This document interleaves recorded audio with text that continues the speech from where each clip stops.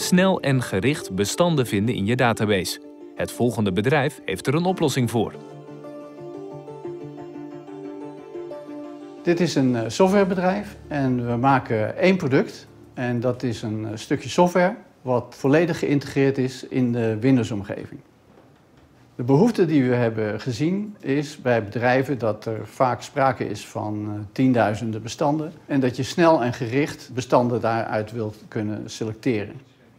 De naam van het product is Tagging voor Windows. De werking van de functie die we toevoegen aan de Windows Verkenner is eigenlijk eh, eenvoudig.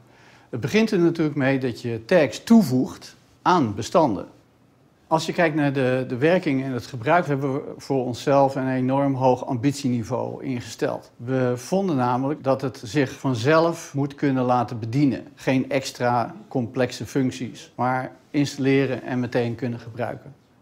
Dus een aantal jaar geleden zijn we begonnen met de software te gebruiken. Dat doen we vooral om grote datacollecties te ontsluiten. Je moet je voorstellen, als wij een collectie van uh, zeg 12.000 documenten doornemen, zijn we daar drie dagen mee kwijt. Doen we dat één keer taggen, dan duurt het doornemen van zo'n collectie maximaal een dag afhankelijk van de grootte en de omvang van de klus.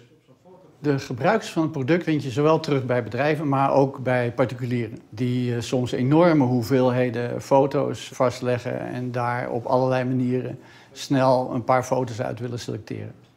De gebruikers bevinden zich eigenlijk wereldwijd en dat was best een verrassing voor ons. Want we hebben dat eh, product op een gegeven moment vrijgegeven en het werd al nou, binnen een maand in 76 landen gedownload.